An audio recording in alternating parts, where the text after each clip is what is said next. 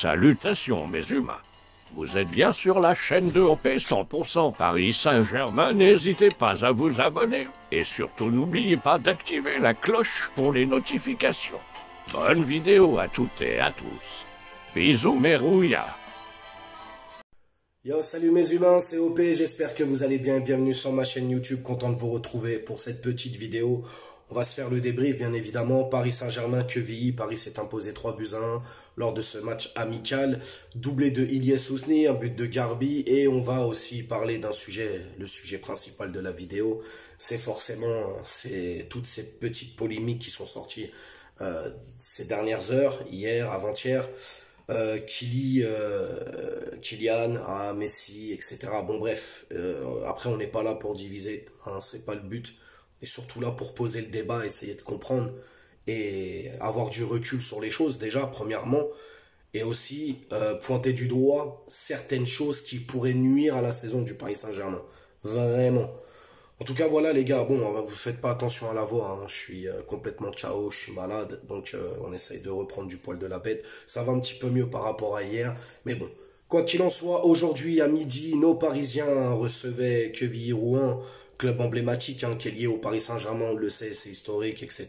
Ils refusent de monter parce qu'ils n'ont pas d'argent, donc ça laisse le champ libre au Paris Saint-Germain pour aller en Ligue 2 derrière euh, Daniel Echter qui, justement, si le club n'était pas remonté, n'aurait jamais repris le Paris Saint-Germain. Bon bref, on va pas refaire l'histoire, mais voilà. En tout cas, quoi qu'il en soit, Paris s'est imposé dans ce match amical. J'ai beaucoup aimé euh, le travail défensif, l'animation offensive. J'ai beaucoup aimé euh, ce qu'a fait euh, Marco Verratti. Marco qui, même dans un match amical, arrive à se prendre un jaune. c'est incroyable, lui. Frérot, Marco, même dans un amical, t'arrives à te prendre un jaune. Bref, non, j'ai beaucoup aimé nos jeunes aussi, ce qu'on proposait. Garbi, il est excellent. Hein. On l'a vu contre le PFC. Là encore aujourd'hui, il a confirmé avec ce but. Donc c'est une erreur hein, de QVI où il récupère le ballon derrière et il va ajuster le gardien adverse. Euh, a Sousni aussi très mobile, très demandeur. Il crée énormément d'espace, il crée énormément de brèches. Euh, j'ai beaucoup aussi aimé le travail de Ekitike, qui était un peu dans un rôle de conservation de ballon, essayer justement d'épuiser un peu cette défense euh, euh, de, de, de Rouen. Donc voilà, ce qu'a proposé en tout cas le Paris Saint-Germain dans sa globalité, même la, défense. Hein.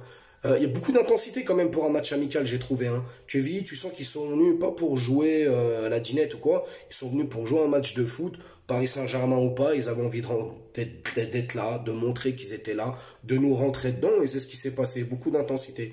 Sur la deuxième période, bon, vite fait, tu te doutes bien qu'il euh, y a le turnover, hein, euh, beaucoup de jeunes qui vont rentrer, dont Ethan Mbappé, et je dois dire quand même que Ethan, euh, je suis surpris de match en match quand même.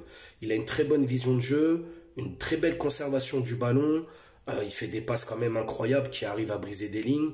Euh, c'est prometteur quand même. Alors on va pas s'enflammer, hein. c'est pas parce qu'il s'appelle Mbappé que c'est du génie ou quoi. En général, on le sait, hein. il y a toujours un dans le lot qui est, bon et le reste ils essayent. Mais bon, c'est jamais les gars, hein. on pourrait peut-être avoir un deuxième Mbappé au club qui euh, fait des miracles, c'est possible. En tout cas, voilà, dans l'ensemble, le Paris Saint-Germain, c'est plutôt facilité la tâche. C'était pas un match voilà, sensationnel ou quoi. Mais j'ai pris mon pied, je sais pas, mais je me suis régalé quand même. C'était cool. Vous me direz hein, dans les commentaires si, pour ceux qui ont vu le match, d'ailleurs le match, je tiens encore à le préciser, le match est payant les amis. Hein, parce que certains sont venus la dernière fois pour le PFC me dire non, c'est gratuit et tout. Oui, la rediffusion sur Twitch est gratuite, mais quand tu veux voir le match en live directement à midi comme aujourd'hui, c'est payant malheureusement. Sur Twitch, tu vas voir deux minutes, ça va te couper directement. Et puis sur euh, PSG TV, faut être abonné, machin, patati patata. Quoi qu'il en soit, même si c'est pas des sommes astronomiques, c'est des petites sommes, c'est quand même payant. Et je le redis encore une fois, je trouve ça dommage pour nous de nous faire payer ce genre de match. Euh, surtout dans un voilà un stade d'entraînement, c'est même pas un stade, c'est un terrain d'entraînement avec euh, des équipes ouais bis, en tout cas remaniées énormément. Voilà, 3-1, c'est plutôt cool. Maintenant, direction Strasbourg, quoi, direction Strasbourg. En tout cas, le 28, on joue contre Strasbourg. Et puis, on va rentrer dans le vif du sujet, les gars. Donc, comme vous le savez, hein, Léo Messi, et bravo à lui encore une fois, a été champion du monde hein, euh, contre la France. Tir au but, on a perdu. Bon, voilà, bref, Kylian qui fait quand même une, euh, une finale incroyable. D'ailleurs, d'ailleurs, je pose la question aux gens qui vont regarder cette vidéo. J'ai quand même la sensation, la nette impression que ce qu'a fait Kylian lors de cette finale, ça a limite, euh, comment dire? Oui, bien sûr, Léo, champion du monde, c'est retentissant dans le monde entier, tout ça. Mais ce qu'a fait Kylian lors de cette finale, pour moi, c'était, j'ai l'impression, en vue de l'extérieur, ça a eu un retentissement plus ample que, en fait, que Messi soit champion du monde. Je sais pas si vous comprenez ce que je veux dire. Euh, on n'est pas là pour faire, c'est pas des, on n'est pas là pour faire des comparaisons. Mais j'ai l'impression, en fait, on a plus parlé de Kylian et de sa performance que de Messi champion du monde, même si on en a quand même énormément parlé, on en parle encore aujourd'hui. Bref, en tout cas, voilà, Messi champion du monde. Alors, il y a une question qui se pose. La question, c'est est-ce que Messi va venir au Parc des Princes présenter son trophée? Comment va être la réaction des supporters, etc. et tout?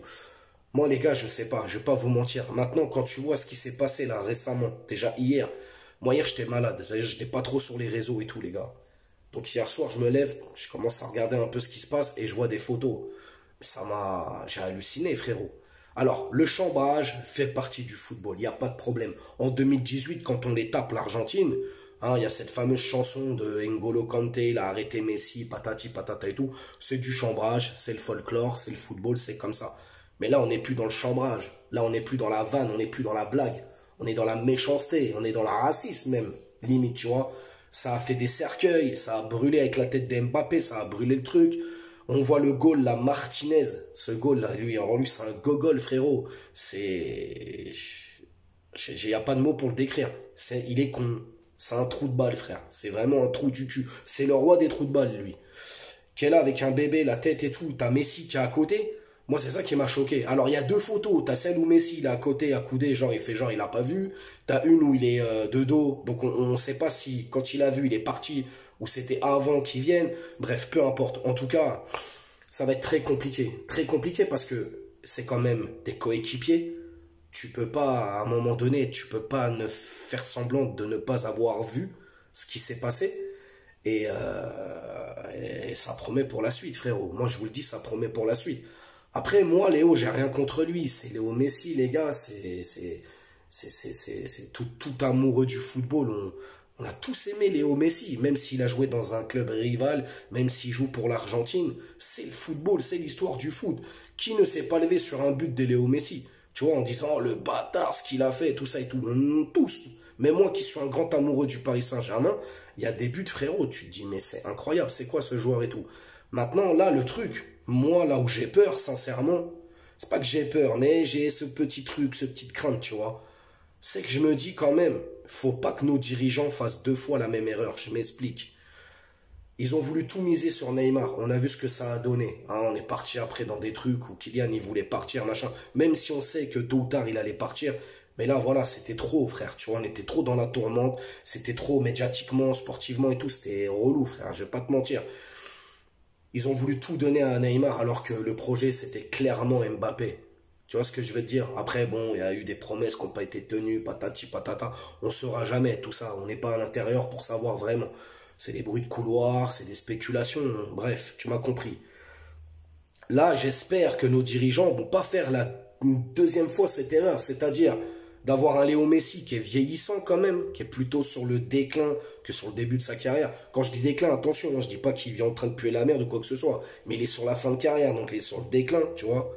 On précise, hein, parce qu'on les connaît, les Neymar sexuels, les Messi sexuels et tout ça, là, les, groupies, frérot. Après, tu te fais attaquer bêtement, euh, donc vaut mieux que je recontextualise le truc. Bref, euh, j'ai dit un mot intelligent, sans bafouiller, c'est plutôt pas mal en étant malade. Tout ça pour dire que il faut pas que nos dirigeants se trompent. C'est-à-dire que là, ils vont récupérer un Messi, qui est quand même plutôt bon depuis le début de saison, qui est champion du monde.